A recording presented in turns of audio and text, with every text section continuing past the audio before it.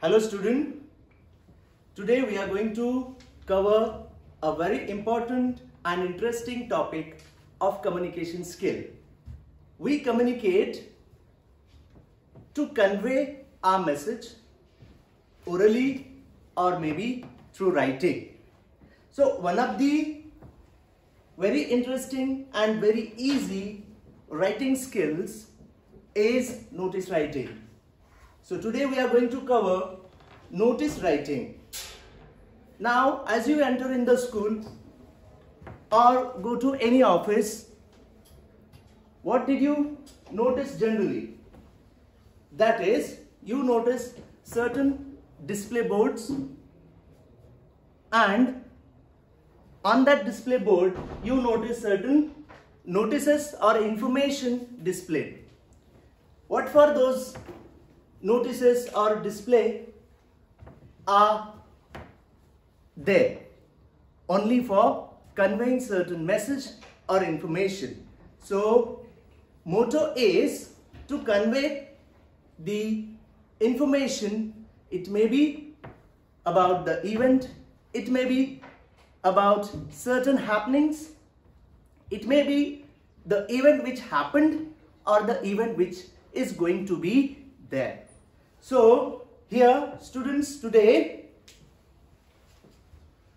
we will cover notice writing what is actually notice you can see here a notice is written or printed information that can be in the form of official statement of public importance or a warning in advance. Now why notices are given? Because that information is highly important and it can be sometimes warning also. So since a notice is primarily meant to inform a large number of people, it must be clear and brief. It is a very important form of written communication used by individuals, organizations or institutions. So, certainly there are certain main purposes to write the notice. What are those purposes? I have written here, you can see, provide information regarding an important event that is about to happen or has happened. As I already told you, students, that what is the purpose of the notice? That is to provide information. The event which is going to be there or which is already happened. Second purpose is it can be public display of information either in the newspapers on specific display boards for others to know and follow. To announce births or deaths, to announce occasions like inaugurations, to, to make appeals or extend invitations. These all are purposes of writing notices. Now, there are so many types of notices.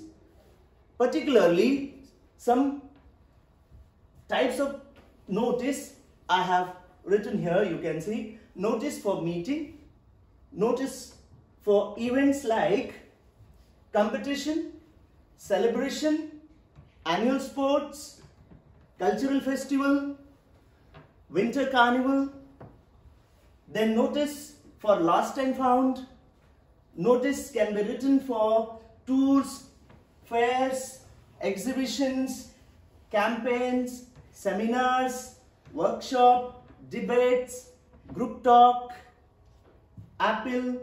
It can be warning, guidelines, certain message in public interest.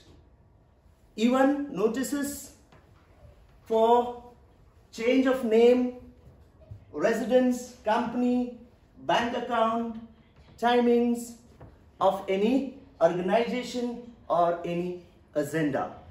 So these are the types of notices. There are so many types of notices and all of them have their nature, have their format. In general today, I'm going to tell you a format which is universal, which can be used to write any kind of notice. It may be any kind of notice. You can use one such format which I am going to tell you today. Okay, so I hope you are clear with this notice and types of notice concept. Now students, as you will be writing this informal communication, so you need to be very careful and keep certain points in mind before writing and while writing the notice. Write the name of organization as I have given here on the top in the center you have to write the name of the organization, institution, office, who is issuing the notice. The word notice just after the name of the organization you have to write the word notice in capital letter. Date of issuing then in which date you have issued that particular notice you need to mention there. Right in the left side, you have to mention the date of issuing notice. Further, we have very, very important that is what is the notice, meaning your subject. What is the subject of notice? I have here written inter-school English debate. So, your heading or your subject is to be written there. The content now, let's go to the next step of the notice that is the content. And in content, you need to be very precise, brief, and you have to keep in mind certain things. Those are, those are, I have written here, you can see, seven W's of writing. If you answer these seven W's, you will have a good content. Now, who, what, where, why, when, in what way, for whom, these are the questions you can say, you can answer to write your content or main information which you are passing as notice. Now, uh, there are other things to be kept in mind like you have to be very much clear with your purpose. Then who is writing, name and designation. You have to write right after your notice information. Then uh, language, very, very important thing. That is, you need to be very, very clear with what kind of language you are writing. It should be lucid. It should be very clear. Uh, you should not use slangs. You should not even use pronouns like I, we, you, mine, me, yours, are. These are the pronouns you should not use while writing the notice. Now choice of tenses depend on the event, where that event and when it is going to be. It has happened, then definitely you will be using past and if it is going to be there then definitely you are you will use certain conditional future tense. So this way you can write notice and it is really easy uh, short composition and whatever points you need to keep in mind I have already told you those points according to those points you can again revise with your format. Once I'll tell you the format and the marking scheme of the notice writing. Now see in format what very first you need to uh, write name of the organization, institution, office issuing the notice. Meaning who is writing the notice that particular name should come first right at the top. Then the word notice after the name of the organization. Here I have written GDGIS Surat, name of the organization and the notice from this particular organization. The word notice should come after that.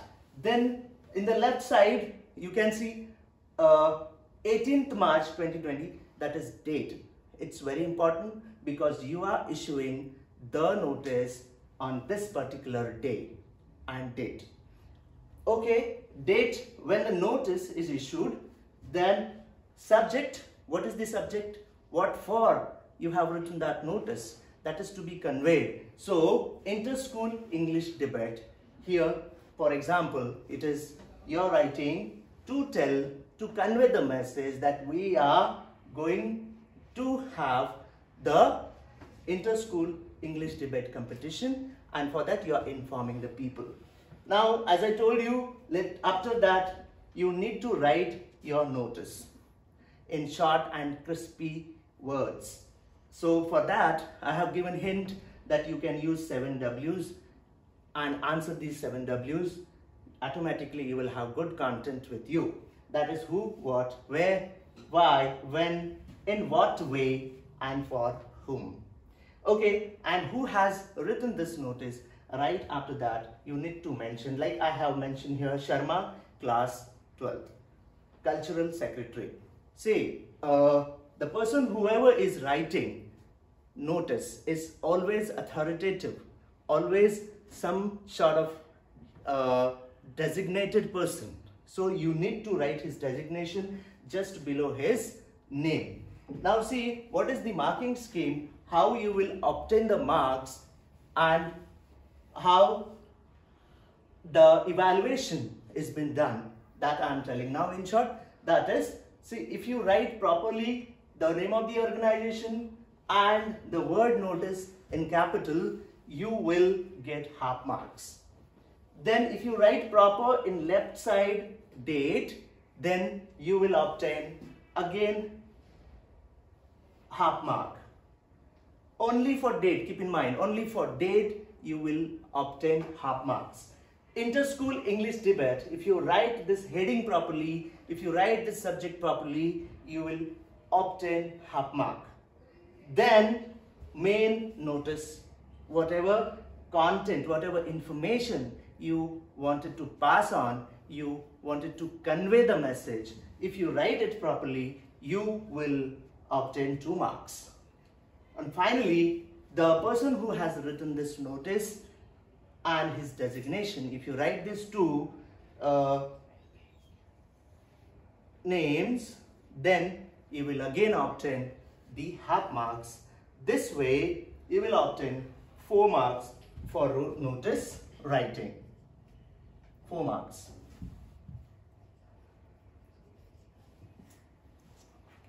Okay, so this way you will obtain complete 4 marks.